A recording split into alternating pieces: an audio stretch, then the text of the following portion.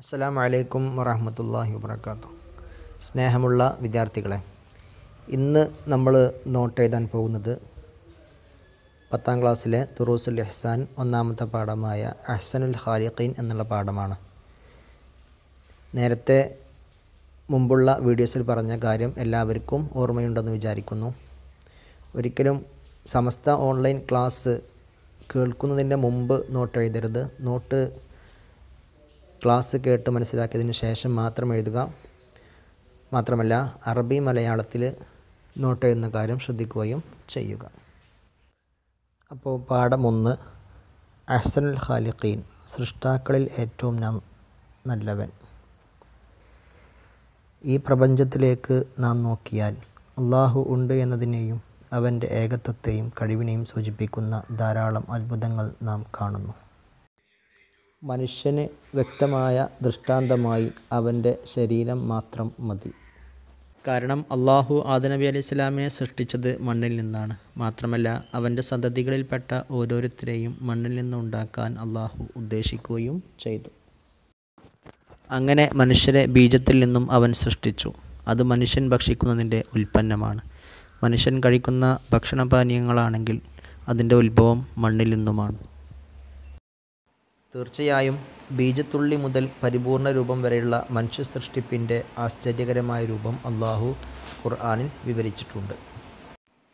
മനുഷ്യന്റെ സൃഷ്ടി അവൻ കളിമണ്ണിൽ നിന്നും ആരംഭിച്ചു. പിന്നീട് അവന്റെ സന്തതിയെ നിസ്സാരമായ ഒരു വെള്ളത്തിന്റെ സത്തിൽ നിന്നും അവൻ ഉണ്ടാക്കുകയും ചെയ്തു. അള്ളാഹു താഴെ പറയുന്നു പിന്നെ ആ ബീജത്തെ നാം ഒരു ഭ്രൂണമായി രൂപപ്പെടുത്തി. അനന്തരം ആ ഭ്രൂണത്തെ നാം ഒരു മാംസപിണ്ഡമായി രൂപപ്പെടുത്തി.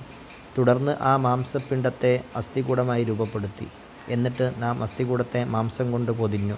പിന്നീട് മറ്റൊരു സൃഷ്ടിയായി നാം അവനെ വളർത്തിയെടുത്തു. അപ്പോൾ ഏറ്റവും നല്ല സൃഷ്ടികർത്താവായ അള്ളാഹു അനുഗ്രഹപൂർണനായിരിക്കുന്നു. മനുഷ്യ സൃഷ്ടിപ്പിന്റെ ആദ്യഘട്ടം ബീജമാകുന്നു. അതിൽ രണ്ട് മില്യനേക്കാൾ അധികം കോശങ്ങൾ ഉൾക്കൊള്ളുകയും ചെയ്യുന്നു. അതിൽ നിന്ന് ഒന്ന് സ്ത്രീയുടെ അണ്ടവുമായി യോജിക്കുകയും പിന്നീട് അത് സ്ത്രീയുടെ ഗർഭപാത്രത്തിൽ വെച്ച് ഭ്രൂണമായി മാറുകയും പിന്നീട് മാംസകഷ്ണമായി മാറുകയും പിന്നീട് അസ്ഥികൂടമാവുകയും പിന്നീട് അതിന്റെ മേൽ മാംസമുണ്ടായി പൊതിയുകയും ശേഷം പേശികളും മറ്റു അവയവങ്ങളും ഉണ്ടാകുന്നു. അങ്ങനെ വേറെ സൃഷ്ടിയായി രൂപാന്തരപ്പെടുന്നു. ഹൃദയം കണ്ണ് മൂക്ക് തുടങ്ങിയ ശരീര അവയവങ്ങളെക്കുറിച്ചും പഞ്ചേന്ദ്രിയങ്ങളെക്കുറിച്ചും നാം ചിന്തിച്ചാൽ അതിന്റെ ഘടനയിലും പ്രവർത്തനങ്ങളിലും അനേകം അത്ഭുതങ്ങൾ നാം കണ്ടെത്തും.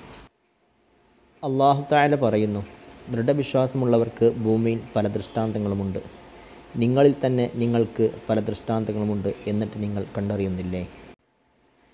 ശുദ്ധമായ മനസ്സോടുകൂടെ മനുഷ്യൻ ഒന്ന് കണ്ണോടിച്ചാൽ അള്ളാഹു ഉണ്ട് എന്നതിനെയും അവന്റെ ഏകത്വത്തെയും കഴിവിനെയും ഉറപ്പിക്കാനും അള്ളാഹുവിന്റെ കലാമായ ഖുർആാന്റെ അമാനുഷികതയും പ്രവാചകന്റെ സത്യസന്ധതയും വിശ്വസിക്കാനും സാധിക്കും.